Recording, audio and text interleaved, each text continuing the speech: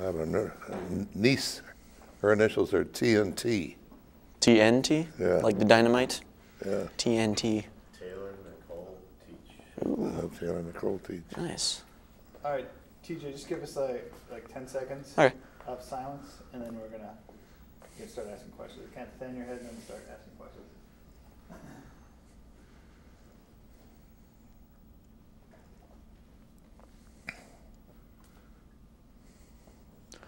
Mr. Teach, where did you grow up? In a small town called Tampico, Illinois, All right. about 130 miles out of Chicago. Uh, when did you go into the service? Went in the service in 1939. Uh, No, 1940, I'm sorry. 1940. Uh, what conflicts or wars did you take part in? World War II. World War II. What were you doing when the Japanese bombed Pearl Harbor? I was enjoying life at uh, just outside of Roswell, New Mexico, and I was in the service then. But I was skiing. With what units did you serve? Well, I started my service in the uh, National Guard, and how that occurred was simply that in 1938, Hitler invaded Poland, and a group of us at the school I was attending decided that we would probably be at war. And uh, why don't, uh, being the smart one, sign up on the National Guard and prepare yourself so you don't get caught up in it as a foot soldier or something.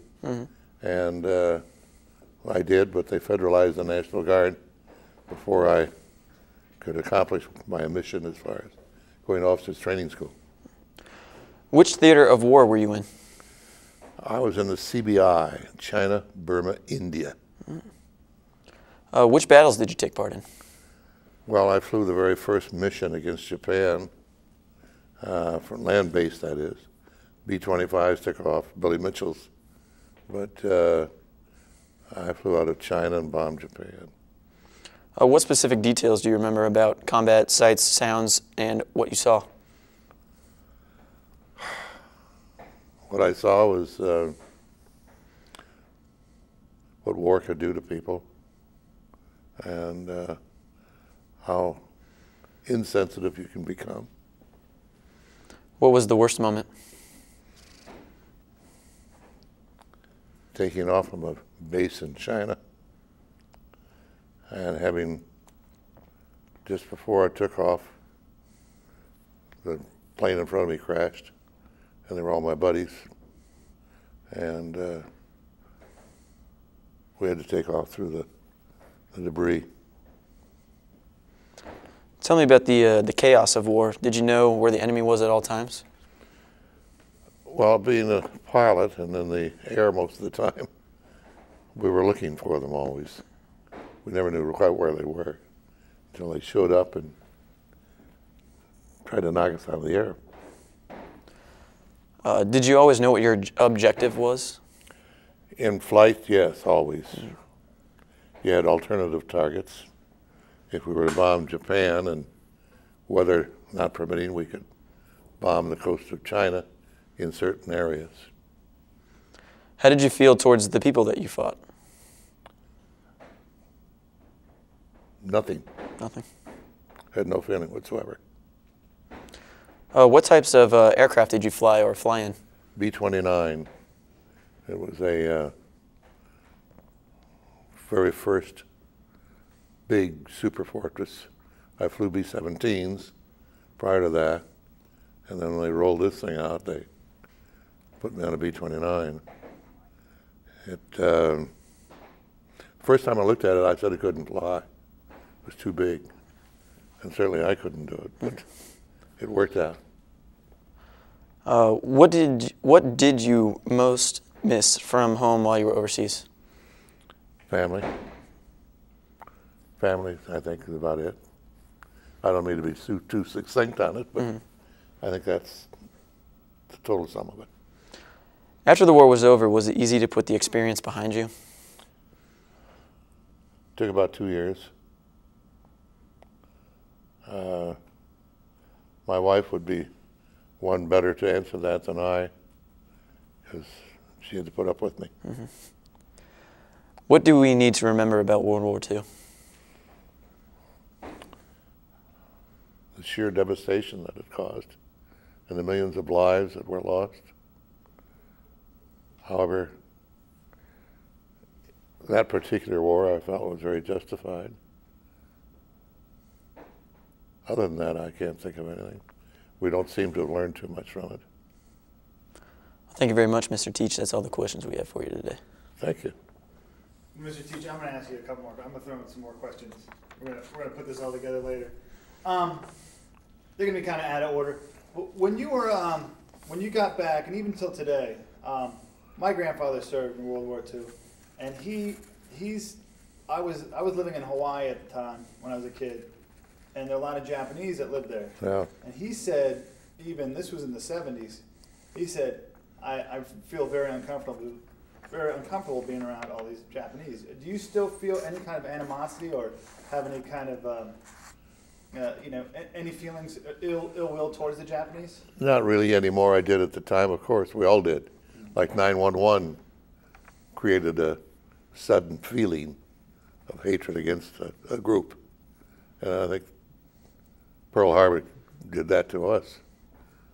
And uh, yeah, I felt very uncomfortable being around Japanese. In fact, I was asked one time if I'd ever been to Japan. I said, no, I bombed it. And that's about the substance of it. Now, uh, you were in, you're part of the, the China, uh, Burma, China, Burma, India. India, and that's something that most people, um, don't know much about. They didn't know we were there. They don't- don't even understand. Um, could you explain how, um, like how, how you guys operated in that theater? Uh, First of all, let me say that we took off from Gander, Newfoundland, on a very secret basis. We were equipped with sheepskin clothing and that type of thing. We thought we were going to a cold climate. And actually, when we got our flight instructions, we took off to Marrakech, Africa. So we flew nonstop from Gander to the coast of Africa. That was our first drop. We stayed there and then flew to uh, Cairo, Egypt, and then had to do a, a roundabout because we couldn't fly over some countries, and went into uh, Karachi, India, which is now Pakistan. And uh, it was difficult over there because we had, particularly in China, we had runways that were gravel made uh, a large rock, a smaller, and on down to the pea size or whatever. So that we needed at least 10,000 feet to take off because we weighed 144,000 pounds at takeoff.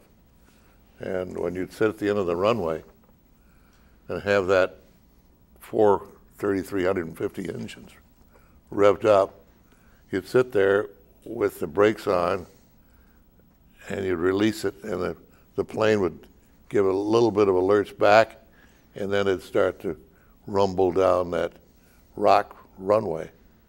And when you got to the final, very end of it, you had to be very careful about lifting it or pulling back on it because it sometimes wasn't quite airworthy yet.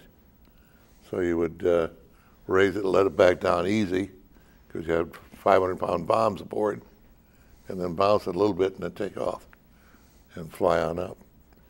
So uh, the hardships were more in the surroundings that we had to fly in. India wasn't too bad. We lived in thatch covered huts and had outside water and ceramic bowls hanging from the ceiling. And uh, when we wanted to chill anything, we would pour gasoline over it and let it evaporate, which is the basics of refrigeration.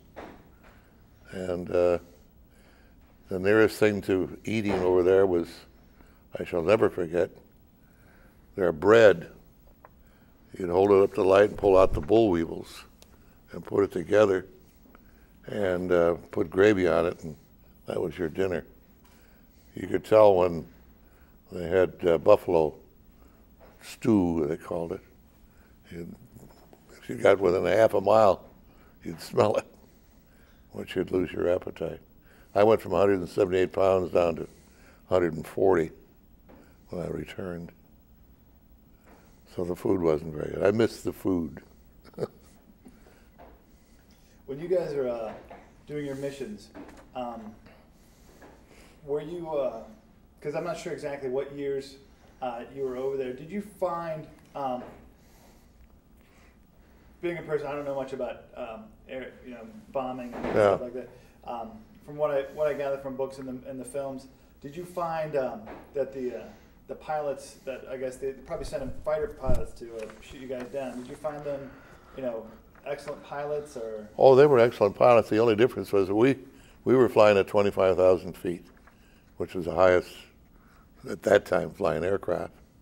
And they couldn't quite come up to our, uh, initially, to our altitude.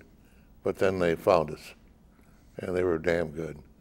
But they were crazy because they, we were on a mission over Japan in Iwata, I believe it was. No, it wasn't Iwata, one of the cities over there. And we were flying three. The biggest formation we could ever get together would be three, because we flew from China and then circled over there one time because we didn't have enough fuel to get back. We did it more than once. Pick up three aircraft, go in and bomb. Well, there was a kamikaze came in, hit the lead aircraft, and both killed three ships right there, and we were down here. So uh, yeah, it's they found us. Did you find uh, that um, at the beginning of your your um, your flights or, or your your uh, your service that the um, the Japanese war machine was kind of slowing down? Could you tell that was you were having an effect or? No, I didn't. I couldn't tell that because we were very early in the war, being the first to bomb Japan from land based, and uh, our group went over the Tinian Islands, and I returned to the states. Okay. Now that was quite a story in itself, a very little vignette here. I was taken off of an aircraft and a crew that we became very close family, and. Uh, to fly a war-weary B-29 back to the States. My crew went on off on a mission with another pilot, co-pilot, and uh, they were hit. But they landed in Vladivostok, Russia, and we were we knew it, but couldn't tell anyone.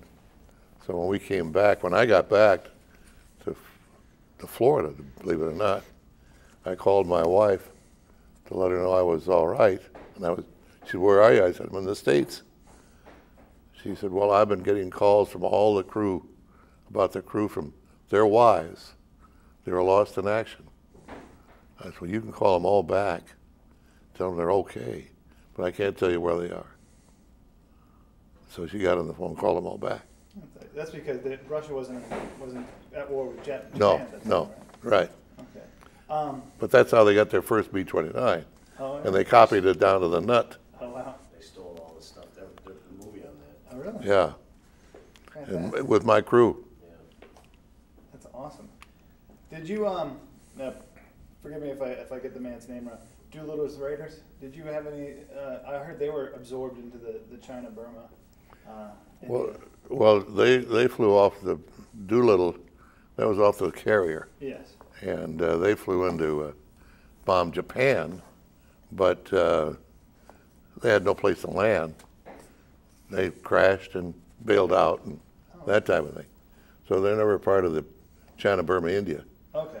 The, the P-40s who, uh, Flying Tigers, those, they were the first to be active the China Burma.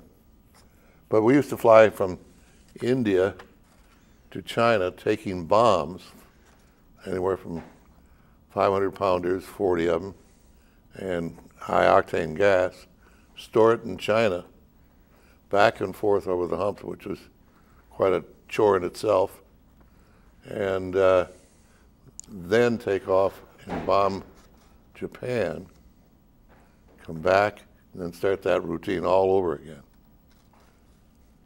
So we'd fly the hump maybe three or four times just to get enough fuel and gas in China to take off to bomb Japan. And our missions were around 12 hours and a half, 12 hours and 45 minutes in the air. That's a long time. So you're flying over the Himalayas. Right. So you had to. That was not not an easy flight to make. Definitely not. Not, I mean, even today, I'm sure it's pretty pretty bad. Well, you don't see it too often when you're even in the air because it's cloud shrouded and 29,000 feet and you're flying at 25. Some of those clouds are, have rock centers. Is there anything um, you would want um, this generation to know or um, about, you know, you, you, when you went in, you were probably eight, when you went in the, the National Guard, you're probably in your late teens or early 20s. Early 20s. Early 20s. Um, is there anything you want, you know, that this generation that's coming up to understand, uh, you know, what might be a difference, but not, not like derogatory, but what might be, a, what they should understand about your generation? That great generation was, I think, it was written up by one of the columnists. Uh, I think uh, I couldn't say that. I think that I feel for the current generation going through what they have to as far as the drug and the uh, uh, breakdown of the family. Uh, I just like to put this in the in, in proper context. I was in the service four and a half years. And when I left, I owed the Air Force. I owed the service. They didn't owe me a thing. And I never asked for anything. Simply because I was so grateful to, for the training I had, to come out with the skill of being able to fly one of a couple of million dollar aircraft, that type of thing. I owed it. And I think this these guys wouldn't like, but I'm for uh, the draft.